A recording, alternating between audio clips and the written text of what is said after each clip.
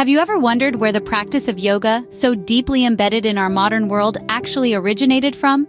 Yoga, a practice with roots reaching deep into the ancient earth, is shrouded in a veil of mystery and intrigue. Its history stretches back thousands of years, yet tracing its origins is no simple task. The teachings were often kept secret, and the fragile nature of ancient texts makes them vulnerable to time. So let's delve into the depths of history to unravel the mysteries of yoga's origins. If we could journey back in time, we'd find ourselves in the Indus Valley civilization around 5,000 years ago. This was a time when the seeds of yoga were first sown. Imagine, if you will, the ancient seals unearthed by archaeologists. These seals depict figures and poses that strongly resemble those we associate with yoga today. It's a fascinating glimpse into the early days of a practice that has now become a global phenomenon.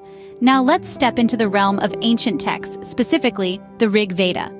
This sacred tome, believed to be one of the oldest in existence, makes mention of yoga.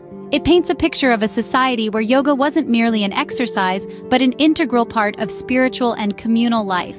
This was just the dawn of yoga, a practice that would evolve and grow with time, a practice that began in the heart of an ancient civilization and has since touched the lives of millions around the globe.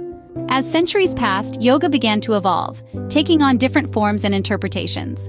From its ritualistic roots in the ancient Indus Valley civilization, it transformed into a philosophical practice with the creation of the Upanishads. These sacred texts, written between the last few centuries BCE and the first few centuries CE, delve deeper into the spiritual aspects of yoga, exploring concepts such as karma, reincarnation, and the pursuit of ultimate truth. As we moved into the classical period of yoga, the sage Patanjali compiled the Yoga Sutras, a collection of 196 aphorisms that serve as a philosophical guidebook for most of the yoga that is practiced today. This marked a shift towards a more physical practice, with an emphasis on mastering the mind through the body. In the late 19th and early 20th centuries, yoga began to spread beyond the borders of India.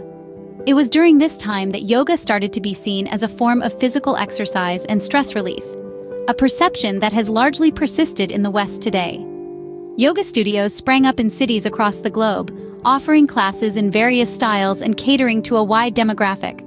From the ancient Indus Valley civilization to the bustling cities of the 21st century, yoga has journeyed through time and space, adapting and evolving, yet always maintaining its essence of mindfulness and inner peace.